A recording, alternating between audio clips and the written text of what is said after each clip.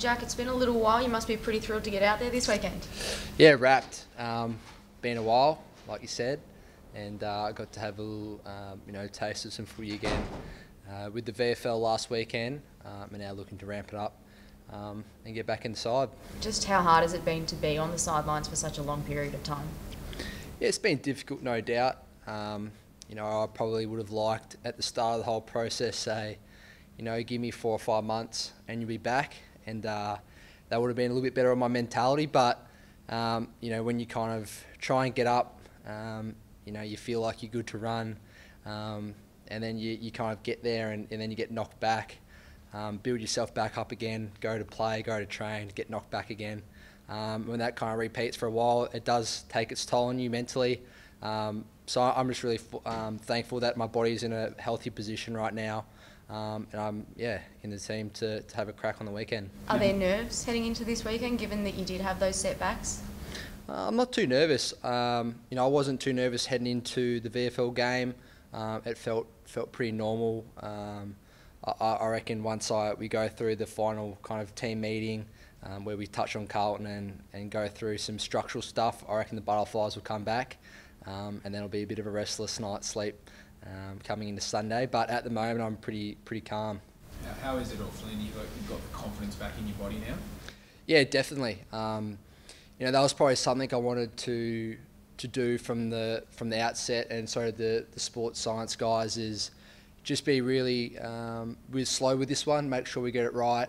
Um, you know, I probably could have played a couple of weeks ago. Um, there were opportunities where we could have pushed it, but it's just been a really slow process. Um, which which I'm you know very thankful uh, we, have stuck to, um, and and I can tell you that I'm feeling um, great. You know, I pulled up 100% fine, didn't even feel my foot from the VFL game, so um, yeah, the body's in in really good health. You admitted over the off season you probably rushed back a little bit too quickly late last year. What did you learn out of that for the future, and obviously with this injury?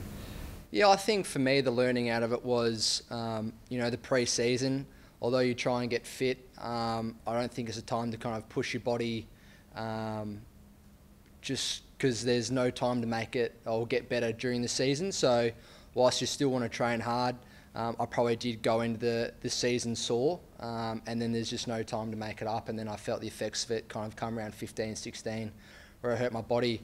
Uh, in terms of the actual coming back from my plantar fascia, um, in an ideal world, I would have loved to have had an extra couple of weeks to just really get it right. But um, like Goody touched on before, at, at the time with all the information we had on on the table, um, you know, I felt like I made the right decision to try and come back and play.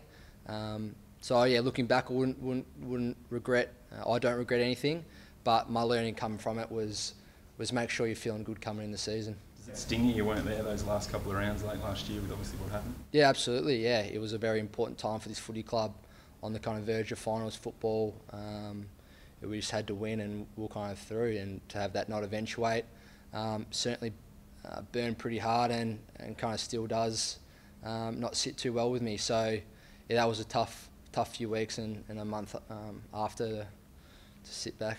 I think that's driving you a little bit now that you're back inside and you're coming in when the team's going quite quite well?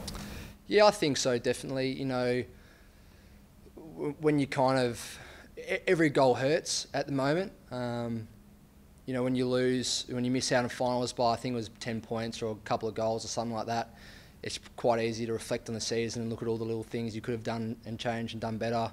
Um, so I've certainly got that uh, mindset at the moment where every goal is hurting uh, and every goal was celebrated um, because come the end of the year, you know how much it can really matter.